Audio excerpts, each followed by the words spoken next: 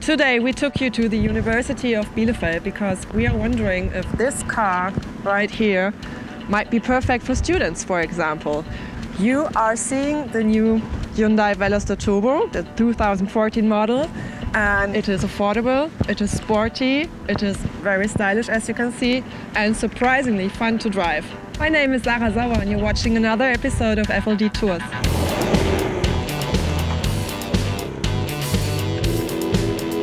Typical for Ford to go ahead and escape here. Torque for days on this thing. And this car's turbo. Power! There it is. Just kicked in.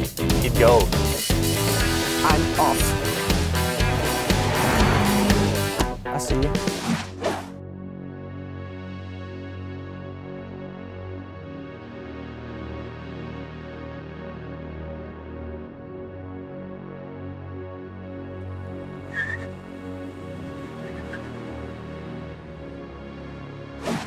The Hyundai Veloster is made from bits and pieces of other cars in Hyundai's lineup, meaning platform pieces come from the Elantra and the Accent, and everything is wrapped in a very stylish design. Power comes from a 1.6 liter turbocharged four cylinder engine making 201 horsepower, while at least in the US, here in Europe, it makes 186 horsepower and 195 pound foot of torque. It's 63 more horses than the base Veloster. All that is mated to either a 6-speed manual or a 6-speed automatic transmission. You can't feel how this drives just by watching me on video. I have to say that I'm pretty impressed because it stays planted on the ground. It handles very well. I like the steering, it's very direct. I like shifting, it's very direct. And what I really like is you actually don't realize how fast you're going because the engine is never, you know, annoying. The sound is just very smooth. And then suddenly you realize, wow, I'm going fast. So that's pretty cool.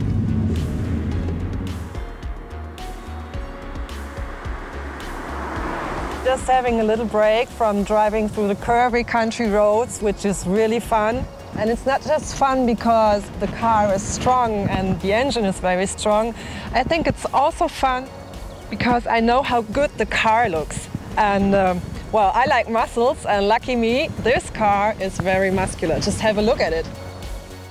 It has a meaner front, 18-inch alloy wheels, a new rear diffuser and a rear spoiler with LEDs. While the Volkswagen GTI and the Mazda Speed 3 go for a more refined look, the Hyundai Veloster Turbo goes for a different and more stylish look. Step inside and you'll be surprised with how many standard features come with the Hyundai Veloster Turbo, including heated front seats with turbo stitching in them, a 7-inch touchscreen display, Sirius XM radio, Bluetooth, and Hyundai's BlueLink system.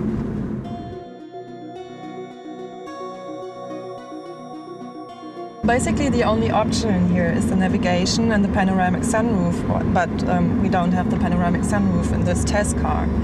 Um, that's where the Hyundai Veloster Turbo offers a lot of bang for your US buck. Pricing starts at $22,300 and that includes everything except the Navi and the panoramic sunroof. And even if you add the tech package, which includes those features, the price hits just below 26,000. dollars I think that's very impressive when compared to its competitors that can reach north of $30,000.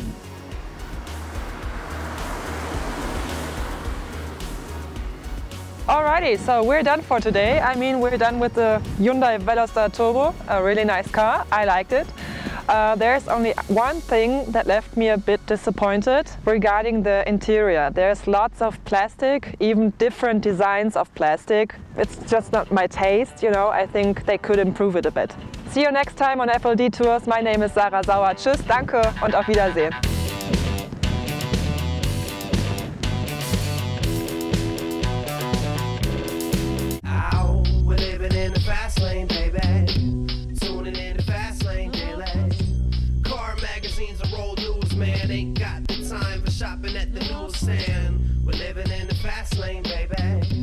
Tuning in the fast lane daily. News for the always on the go folks. Merge to the left and pass all the slow pokes.